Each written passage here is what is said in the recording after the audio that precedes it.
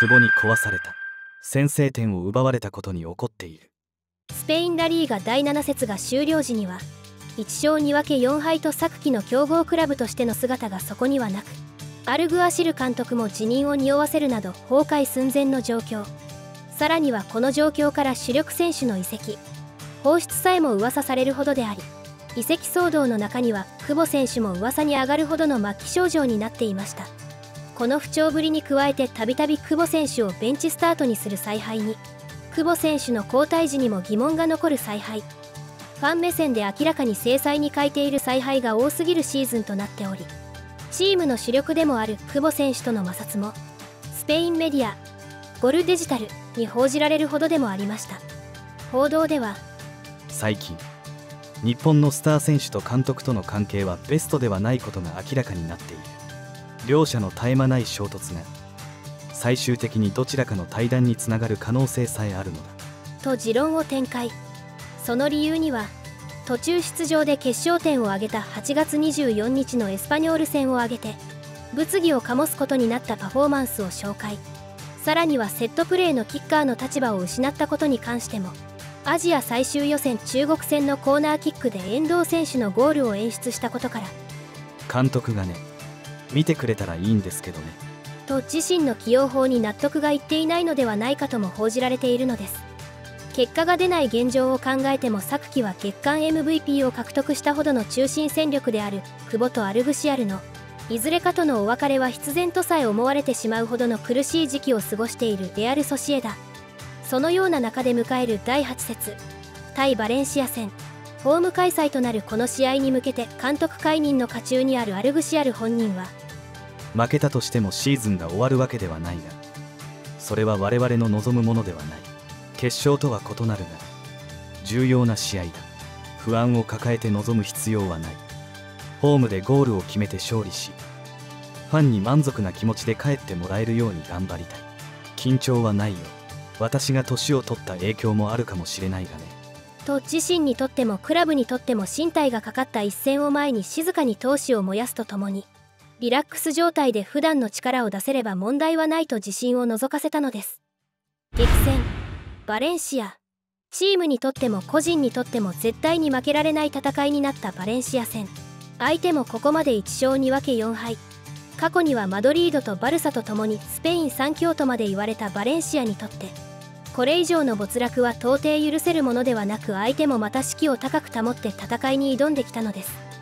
この戦いにおいてアルグシアルが選択したのは4141システム。そしてこの試合における最大のポイントは2列目右に先発起用となった久保選手に対して味方がどれだけ合わせてついていけるのかというポイント。そしてその不安は気鬱であったことが開始7分で証明されたのです。開始7分相手のハイプレスに遭いながらもゴールキーパーを絡めたパス回しで自陣でゆったりとビルドアップ。このビルドアップで相手を1人2人と剥がすことに成功すると陣形が前かかりになっていたバレンシアに対して徐々にパススピードとパスの方向性がよりストレートに縦を使うものに変化。相手に一切触れることがないパスワークで左サイドを攻略するとこのパスワークで相手は久保選手へのマークを喪失。その気を逃すソシエダではなく左奥までドリブルで侵入していたセルヒオ・ゴメスがバウンドをできる限り抑えた質の高いグラウンダー製のクロスを逆サイドの久保選手へと供給。完全にフリー状態であった久保選手にとって完璧なクロスが届けられ当たり前のようにバレンシアゴールを揺らしてみせたのです。30分には3人もの徹底マークに対して味方選手にボールを預けてワンツーで局面を打破。そのまま味方へと決定機につながるパスを送るなどこの日も久保選手は攻撃のタクトを振るいます。その後も先制点を奪った勢いのままソシエダはバレンシア陣内へと何度も襲いかかり試合を完全に掌握。最終スコア3対0で久しぶりの勝利を手にしたのです。この試合における中心人物とされたのが先制点を奪った久保選手。そしてバレンシア戦でラリーガ通算167試合出場に到達し元日本代表ミッドフィルダー乾隆の166試合を上回る日本人最多出場記録を更新。ソシエダの中心戦力であり昨季は月間 MVP も獲得するなどラリーガを牽引するスターの一人としてこの記録を更新し続けてくれるのではとついつい期待を寄せてしまいますね。現地メディアの反応と苛立ちマックスの敵将。この試合においては先制点と追加点に関与する活躍を見せた久保選手に対して当たり前のように公表したのが現地メディアでした。竹久保が得点しレアレアリーナ全体を踊らせた。彼の魔法はバレンシア全体を無効化した。と久保選手が魔法を使ったと絶賛。この試合は先制点によってほぼ決まったと言っても良いほどの展開であり先制点を叩き込んだ久保選手の影響が最終盤まで続いていたのは間違いないのです。さらには日本人は躍動し先制ゴールを決めた。セルヒオ・ゴメスの低いクロスをエリア内で受けてママルダシュビリを破る選手たちはゴールがどれほど重要かを知っていたので大喜びでゴールを祝った。と勝利に貢献したのは間違いどころではなく今後のシーズンで上位進出を狙う上で重要なターニングポイントでもあるとも捉えられるほどの喜びようでもあったとも報じているのです。ファンの反応も上々で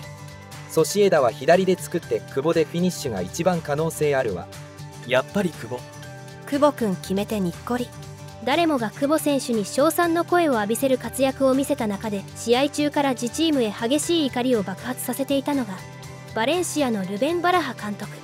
バレンシアの OB でもある彼は試合中から身振り手振りを交えて怒りを爆発させており自身のゲームプランを完遂していないメンバーに対して相当に冠状態。試合終了後の会見では先制点のアクションには結構イライラした。私たちは今目を覚まさなければなりません。起こったことに私は腹が立ちます。私たちは落ち込んでおりそれは私たちの責任です。と先制点の重要性を試合前からチームに伝え続けていた中での失点はゲームプランに想像以上のダメージを与えたものであったことを説明し久保に壊された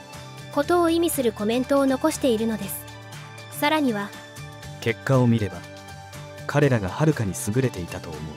しかし試合では我々は積極的に関与しチャンスがあったと思う。とゲーム内容を見ても久保選手を含めたソシエダのクオリティがバレンシアを上回っていたことも認めています。最後には再三の補強のリクエストを無視し続けるクラブ上層部への苛立ちもあったのでしょう。うんざりもうたくさんだと肩を落としていたのです。マン・オブ・ザ・マッチに選出。この試合のヒーローに選ばれたのは文句なしの久保選手でしたがインタビューに現れた久保選手本人は納得していない様子で。まずはありがとう。今日のマン・オブ・ザ・マッチはセルヒオ・ゴメスがふさわしいかもしれない。彼は2アシストと非常に活躍したからね。ただ最終的にはファン投票なので彼らに感謝するよ。と自分よりも彼の方がふさわしいと味方への称賛を浴びせる。余裕を見せたのですそしてこのレアル・ソシエダでまことしやかにささやかれているのが不敗神話。今季久保選手がゴールを決めた試合の全てでソシエダは負け知らず。例のパフォーマンスでも話題になった試合も今季ここまで2勝のうちの1勝を飾った試合であり今回のバレンシア戦でも久保選手がゴールを奪ったことで久保選手がゴールを奪えば負けないという風潮があるのです。ここからチームが浮上する上で久保選手のゴールは不可欠としているサポーターも多くインタビューでも当然のように腐敗神話に対して聞かれると自分がゴールを決めることで負けないならこれから全部の試合で決めるようにしないといけませんね。ただそれって僕があまりゴールを決めていないからかもしれません。自分がゴールを決める試合で毎回勝ち点3を獲得できるのか見てみる必要がありますね。と冗談を飛ばしてみせながらももっと自分が点数を奪わないといけないと戒めたのですこの試合では先制点をしっかりと沈めておりスペインラリーガの中でも屈指の能力を持っていることを証明。チームが連動すればここからのゴール量産も間違いないということを周りに証明した試合でさえあったのです。その中で確かな手応えをつかんだ久保選手は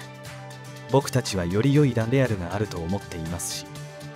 最高のラレアルが戻ってくることはもうすぐです。と浮上も間違いないとの意見を残していますしかしながら一部スペインメディアは久保選手とアルグシアル監督が同じ現場で仕事をするタイムリミットは迫っているとの論調がほとんど。その上ソシエダは潤沢な資金源を持っているわけではなく世界的名称のピックアップは不可能。当初予定されていたであろうシャビ・アロンソの監督就任もシャビアロンソ自身がソシエダに収まらない名称になってしまったことで計画は頓挫。またここまで幾人もの選手を再生してきたアルグシアル監督を切るということはほぼありえない状態であり久保選手がステップアップする形でクラブを去ることになるだろうと飲み方が大半なのです。一部の噂ではサラー対談によって空きが生まれるリバプールの右サイドに久保選手が入るとの。考えもあったりするなど久保選手を取り巻く移籍市場の動向はここから目が離せないものになっています。